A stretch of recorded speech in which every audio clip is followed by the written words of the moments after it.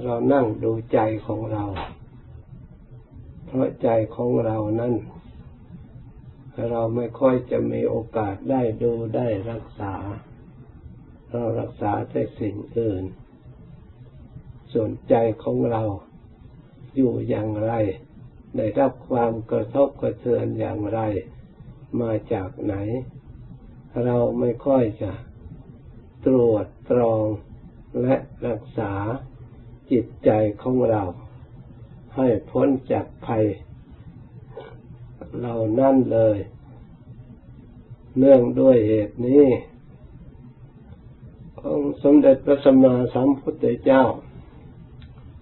พระองค์เห็นความสำคัญทางจิตใจจึงได้วางการปฏิบัติอบรมใจไว้ ใจนี้จะฝึกฝนดีแล้ว ใช้การใช้งานได้ดี เพราะทำการกระทำทั้งหลายล้วนแต่มาจากพลังแห่งจิตใจ ถ้าจิตใจได้อบรมฝึกฝนในทางดี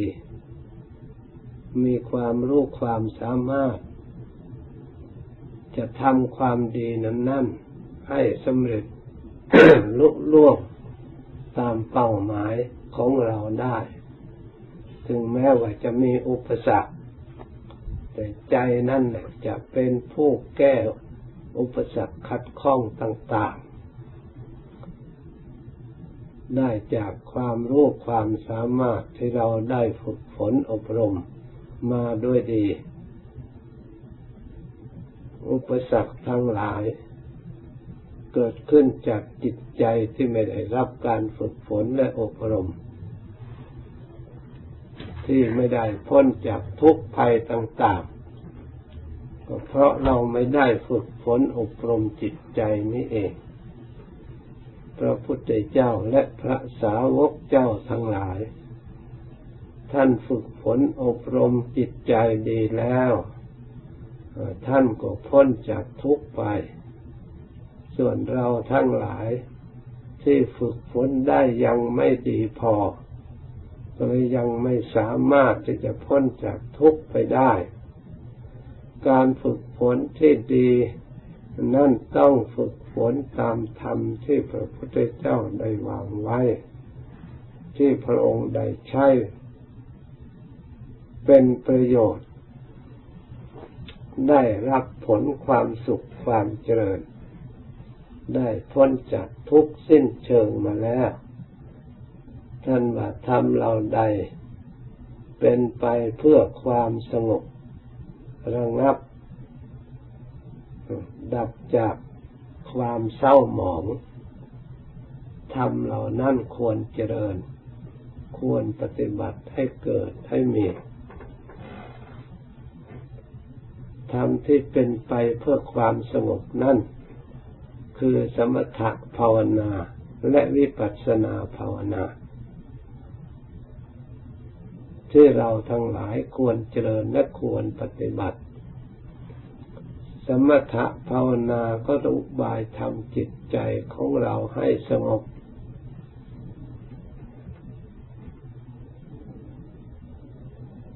อุบายที่รักษาจิตใจของเราไม่ให้ฟุ้งไปข้างนอก ให้มีสติรู้อยู่ในปัจจุบัน ในเบื้องต้นอุชุงกายยังเรากำหนดตั้งกายของเราให้ตรง และพยายามตั้งสติระลึกรู้ทั่วกายของเรา ส่องไปในกายของเราทั้งข้างนอกโดยรอบทำรัศมีความรู้ตัวโดยรอบกายของเรา ทั้งข้างหน้าข้างหลังทางซ้ายทางขวา เหมือนกับเราส่องเห็น ตัวเรานั่งเหมือนกับพระพุทธรูปนั่งสมาธิสองส่องเห็นกว้างกว้างก่อน เมื่อเห็นตัวเรานั่งเหมือนกับพระพุทธรูปถ้านั่งสมาธิแล้ว เราก็ระลึกทำกรรมบริกรรมพุทโธพุทโธ เรานั่งแบบพระพุทธเจ้า นั่งสมาธิแบบพระพุทธเจ้า เอาคุณพระพุทธเจ้ามาไว้ในใจลึกพุทโธพุทโธก็อย่าพึ่งรวมให้แคบเข้ามาพึ่งรู้กายทั่วตัวของเราไปสักพักหนึ่งก่อนไปรู้กว้างๆเรียกว่าเห็นกายในกายก็เห็นกายของเราทั้งหมดที่นั่งอยู่ ลึกบริกรรมไปบริกรรมค่อยรวมความรู้เห็นเข้ามา รวมเข้ามา สู่ตัวของเราให้ตัวของเราเล็กเข้าไป เล็กเข้าไป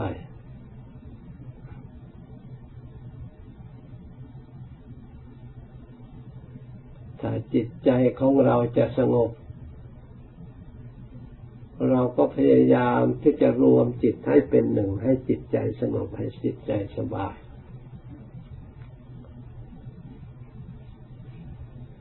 อย่าให้จิตใจของเราเผลอไปข้างนอก ให้เห็นตัวของเรานั่งอยู่ระลึกพุทโธ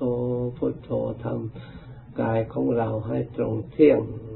เหมือนกับพระพุทธเจ้านั่งสมาธิ สงบอย่างไร เราก็สงบเที่ยงอย่างนั้นแหละ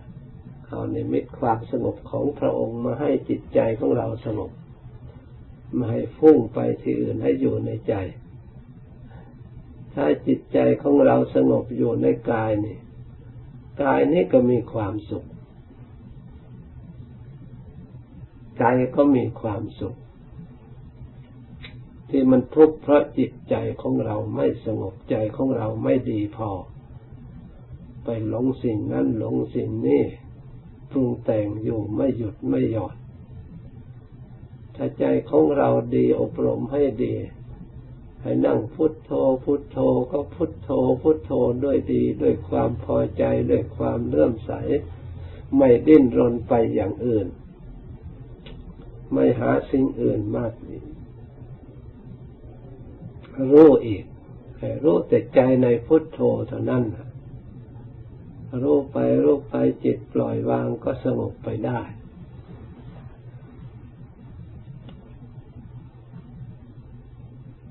จิตสงบจิตมีความสุข นี่ถ้าเราต้องการความสุขต้องการความสงบ ถ้าเราต้องการรู้ธรรมเห็นธรรมแจ้งไปจากเรียกว่าสัจธรรม คือความจริงอย่างประเสริฐ เราก็พิจารณาแยกกายของเรา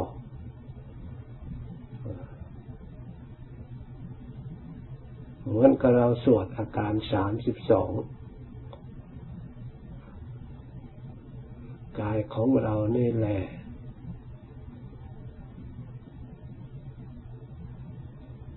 เบื้องบนแต่พื้นเท้าขึ้นมาเบื้องต่ำแต่ปลายผมลงไป มีหนังหุ้มห่อจนสุดรอบ แล้วให้พิจารณาเห็นว่ามันเต็มไปด้วยของไม่สะอาด มีประการต่าง ๆ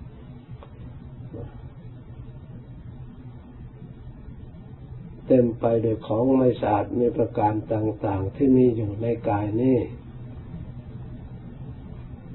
คือผม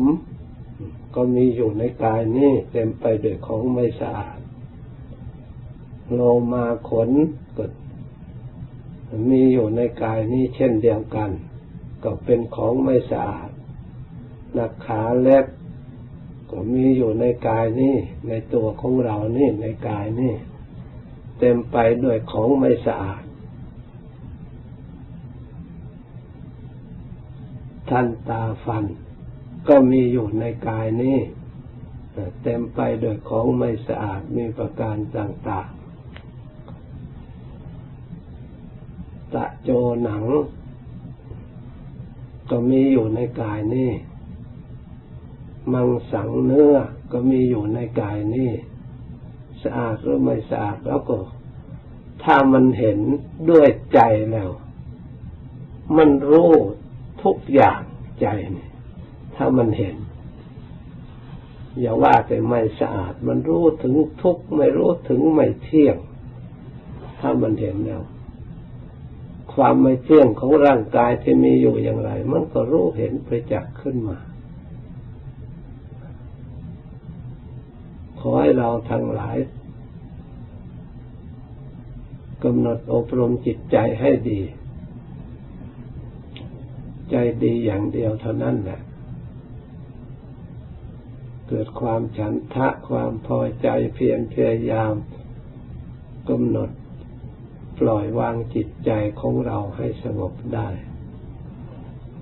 ไม่มีสุขอื่นยิ่งกว่าความสงบพระพุทธเจ้าพระองค์ระลึกได้ทุกภพทุกชาติที่พระองค์เคยได้เสวยชาติต่างๆ นับตั้งแต่ได้เป็นมนุษย์ธรรมดา ตลอดถึงเป็นกษัตริย์เป็นพระมั่งคั่งสมบูรณ์บริบูรณ์ทุกอย่าง เป็นเศรษฐีมหาเศรษฐี ตลอดถึงเป็นเทวดา ตลอดถึงเป็นพรหมพระองค์ท่องเที่ยวไปหมด แต่พระองค์สำรวจตรวจดูแล้วสุขทั้งเนี่ยยิ่งกว่าความสงบไม่มี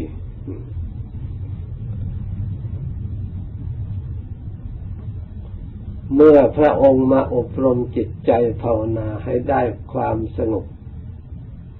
บังเกิดขึ้นในจิตใจของพระองค์พยายามตัดสิ่งที่ทำลายความสงบออกให้หมด เหลือแต่ธรรมชาติประณีตธรรมชาติสงบหมดจดบริสุทธิ์แล้ว พระองค์ก็ไม่ได้แสวงหาความสุขอย่างอื่นอีก ความสุขที่เคยมีแล้วแต่เก่าก่อน ที่ได้จากอย่างอื่นพระองค์ทิ้งหมด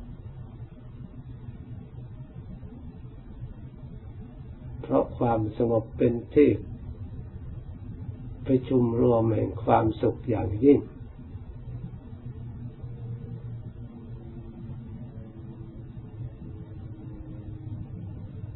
ถ้าจิตใจของเราได้รับความ สงบตามที่ท่านกล่าวไว้ เราจะรับรองทำคำสอนของพระพุทธเจ้าทันที ว่าเป็นความจริง เพราะสิ่งเหล่านั้นมันก็มีขึ้นแล้วในจิตใจของเรา เป็นพยานยืนยัน รับทำรับทำคำสอนของพระพุทธเจ้า อย่างเป็นภูมิ ยังสิ้นสงสัย ไม่มีความสงสัยแม้แต่น้อย เป็นความจริงที่พระองค์ทรงตรัสไว้ ความสุขที่เกิดขึ้นจากความสงบนี่ไม่ต้องซื้อไม่ต้องขาย ไม่ต้องลงทุน ไม่ต้องเกี่ยวกับวัตถุอย่างอื่นเลย ได้อย่าง ไม่ต้องดิ้นรนไปหาที่ไหน เพียงแต่มาทำจิตใจของเรา ให้สงบ ไม่ให้หลงสำคัญผิดให้เข้าใจถูกต้องและอบรมไปอบรมไปได้ความสงบความเย็นใจ ถ้ายังไม่สงบขัดข้องด้วยสิ่งใด เราก็ยิบยกสิ่งนั้นมาพิจารณา ให้รู้ความจริง เมื่อจิตใจได้ปัญญารู้ความจริงสิ่งที่มาทำจิตใจไม่ให้สงบมันก็เกิดความเบื่อหน่าย ไม่ต้องการ เพราะมันสร้างทุกข์ขึ้นให้เรา แต่ก่อนเราไม่รู้เราก็หลงยินดี นึกว่าจะได้ความสุข แต่เราได้ประสบพบความ สงบความสุขแล้ว เรามาเห็นเห็นสิ่งนั้น แทนที่จะเป็นความสุขตรงกันข้าม เพราะจิตใจของเราละเอียดผ่องใสบริสุทธิ์ สามารถรู้สัจธรรมตามความเป็นจริง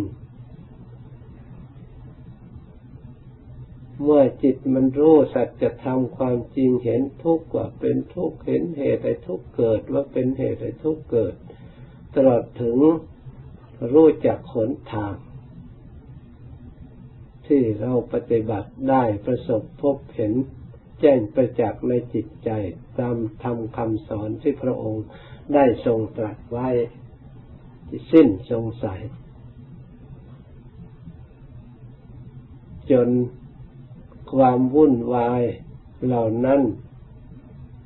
จืดจางสงบดับสนิทลงไป ความสุขความเย็นใจเกิดขึ้นแทน ปรากฏชัดในจิตใจของเราก็สิ้นสงสัยเราจะสงสัยที่ไหนอีกเมื่อมันเกิดขึ้นในใจของเราแหละไม่ต้องถามใครก็ สิ้นสงสัยก็รู้ขึ้น เพราะใจนี่เป็นธาตุรู้อยู่แล้ว เป็นสิ่งที่ประพัดสอนเลื่อมใสพงใสสะอาดอยู่แล้ว เมื่อเราไปเอาสิ่งที่มัวมองออก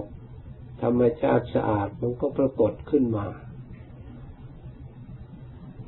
ให้เรารู้เราเห็น เกิดความเย็นใจขึ้นมา เพราะฉะนั้นเราทั้งหลายเพียรพยายามถึงแม้ที่แรกยังไม่เห็น ถ้าเราพยายามยังถูกต้องแล้วก็ย่อมเห็นได้ รู้ได้เป็นได้ พระพุทธเจ้าเมื่อก่อนพระองค์ก็เป็น ผู้ที่ยังท่องเที่ยวเหมือนกับเราอย่างนี้แหละ อริยะสงสาวกทั้งหลาย เมื่อก่อนท่านก็ไม่รู้เหมือนกับเราเนี่ยนะแต่ท่านมีความเพียรถูกชอบ ท่านมีความระลึกชอบ ท่านมีสติตั้งไว้ชอบ มีความดำริชอบ มีความเห็นชอบ ควบคุมให้การงานการ พูดการทำชอบ ตั้งอยู่ในธรรมให้สม่ำเสมอ ควบคู่กับชีวิตของตน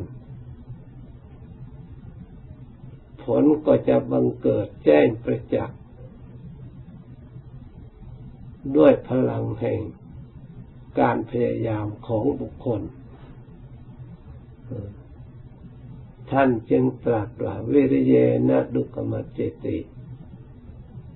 ผู้ที่จะพ้นจากทุกข์ได้ก็เพราะอาศัยความเพียรพยายามของตนที่พยายามความเพียรที่ชอบ พยายามชอบนี่เองทำให้เราออกจากทุกข์ให้พ้นจากทุกข์ได้ ให้ถึงความสุข ที่เราทั้งหลายต้องการอยู่ ถ้าเรามองดูในโลกภายนอกปัจจุบันแล้ว มีความวิตกกังวลร้อยแปดพันประการถึงแม้ว่าจะเจริญสักแค่ไหน เพียงไรก็ตามยังไม่ปลอดภัยที่แท้จริง ยังตั้งอยู่ในทุกภัยทั้งนั้น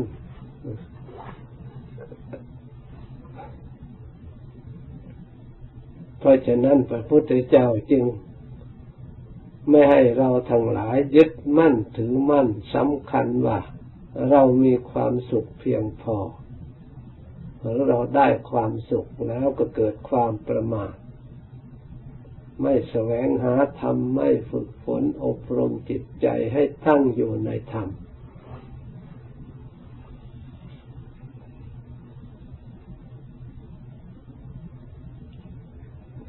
เพราะความสุขของโลกเราทั้งหลายก็สัมผัสมาด้วยกัน รู้ด้วยกัน ได้ยินด้วยกัน เห็นด้วยกัน มีมากน้อยแค่ไหนเพียงไรกับความทุกข์ที่มีอยู่ในโลก ที่เกิดด้วยกัน ผลสุดท้ายก็คือทุกข์นั่นเอง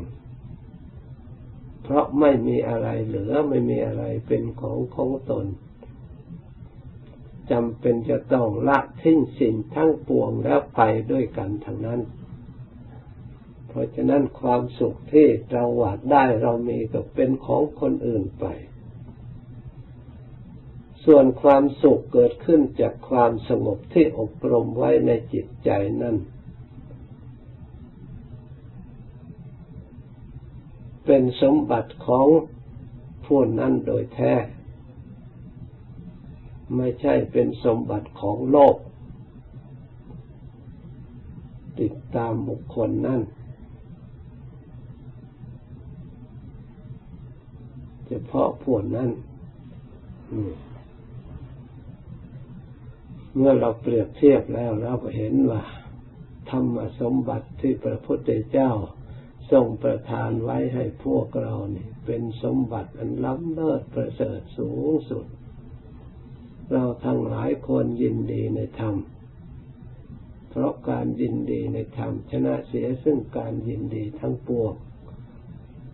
คำว่ายินดีในธรรมก็คือยินดีในการปฏิบัติทำเหมือนกับสมาธิยังไม่เกิดก็ปฏิบัติให้เกิดมีขึ้น จิตใจ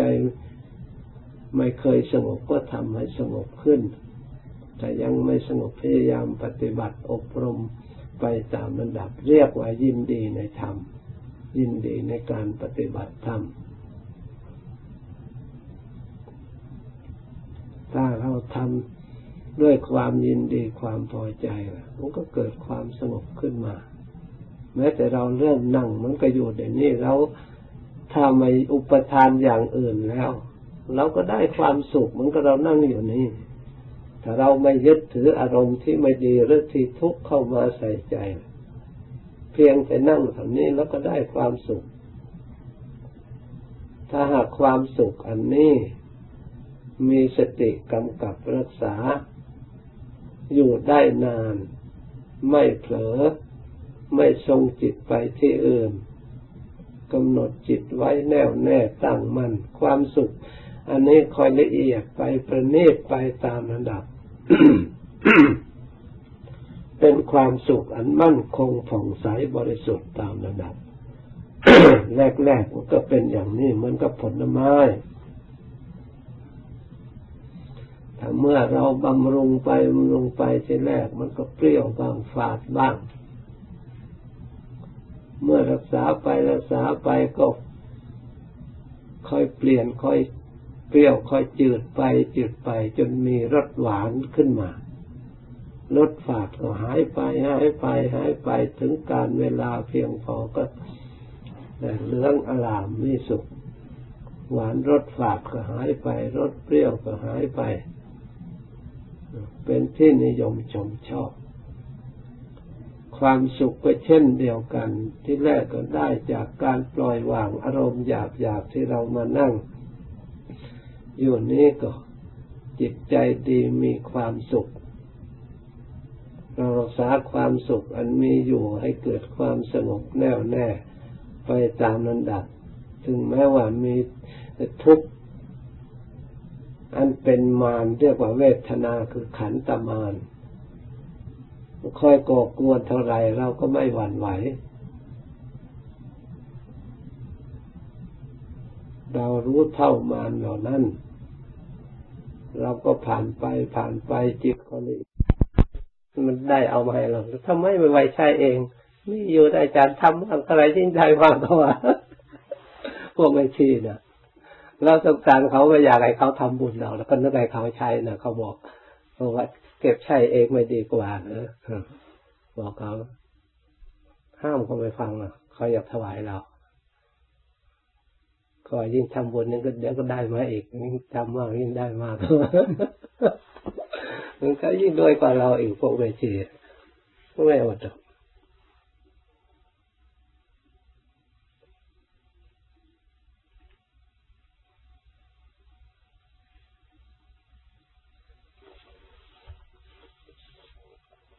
จริงๆ แต่ถ้าอยากได้นะมันก็ไม่ได้ มันอยากได้แสดง ออกมาแล้วเขาก็ไม่ชอบ อย่าไปอยากจะไปขอเขาไปจบไปแจงเขายิ่งไปอยากปฏิบัติอย่างเดียว ถ้ามันหิวก็ภาวนา ร่างกายทุกข์แต่ใจได้ความสุขก็เอา ร่างกายหิวแต่ใจอิ่ม ถ้ากายอิ่มใจมัน มันหิวกายอิ่มใจหิวกายหิวใจอิ่ม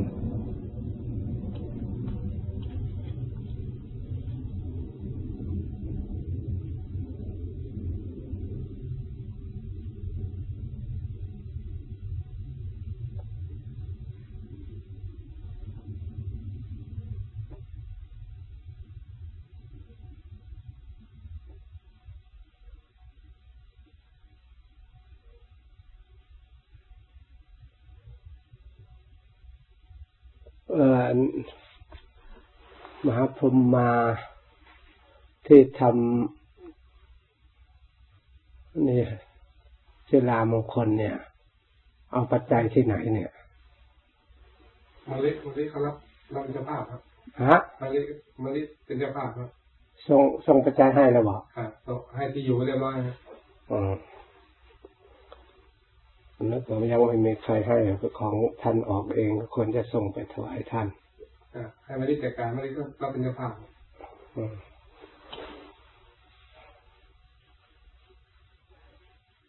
ท่านสำรวยไม่ได้พบกันเลยพระพบมาก็ไม่ได้พบท่านไปบุญก็ไม่พบกันท่านสำรวยไปก็ไม่ได้ไปไหนเนี่ยไปก็ไปสร้าง คุ้มสร้างกำแพงวัดป่าพุทธรแล้วก็สร้างศาลาที่วัดที่ท่านอยู่เอ กหนองค่าก็คุ้มก่อสร้าง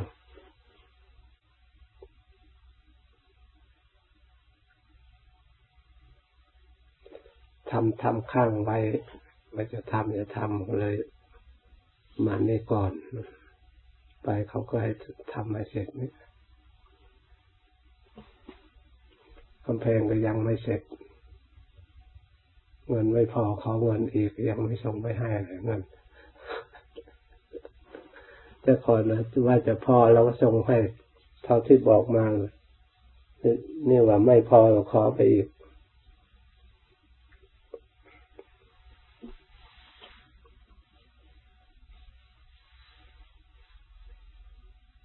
ของมันแพงขึ้นนะมันขึ้นราคา ที่แรกก็นึกว่าจะพอ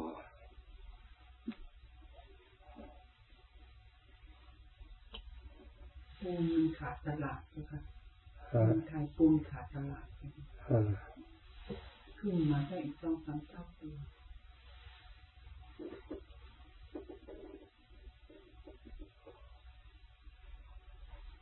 กำแพงนั่นนะตั้งแต่หลวงปู่ฟั่นยังอยู่หลวงปู่ก็ช่วยได้ไป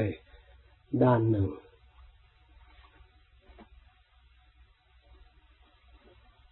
ต่อมาก็ ก็เลยลวงปู่มรณะก็ไม่มีใครต่อ แต่มาก็เลยไปสร้างเมนให้เขาสร้าง สร้างศาลาเอกช่วยศาลา แล้วก็เลยมานี่ ไม่ได้ช่วยกำแพงตามสำรวยไปก็เลยกับพระครูฟิสารนั่งช่วยกันอยู่นั้น